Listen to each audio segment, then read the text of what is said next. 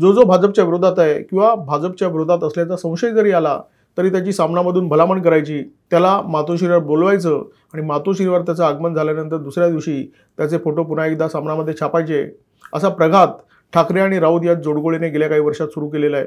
मातोश्रीवर येऊन फोटो काढून गेलेले पुढे भाजपमध्ये जातात आमदार खासदार होतात असा आजवरचा अनुभव आहे. हार्दिक पटेल आधी आलेले हार्दिक पटेल यांच्यानंतर कलाबेन डेलकर आलेल्या हार्दिक पटेल आमदार झाले कलाबेन डेलकर आता भाजपच्या खासदार होण्याच्या वाटेवर आहेत. शत्रूचा शत्रू मित्र असतो हे राजकारणाचं सूत्र आहे. परंतु नव्या मित्रामुळे तुमचा फायदा होईल किंवा तुमच्यामुळे तुमच्या मित्राचा फायदा होईल अशातला काही भाग नसतो. म्हणजे असं नेहमी घडतंच असं नाही आहे समोरच्याच्या विरोधात आपण एका बाजूला उभे आहोत एवढंच काही ते समाधान असतं. हार्दिक पटेल असो किंवा कलाबेन डेलकर दोघेही भाजपच्या विरोधात गुजरातमध्ये उभे ठाकले होते. परंतु आंधळा विरोध करण्यामध्ये काही हशील नाही आहे हे लवकरच त्यांच्या लक्षात आलं. त्यांनी चार पावलं पुढे टाकली भाजपने सुद्धा चार पावलं पुढे टाकली आणि विषय संपून टाकला.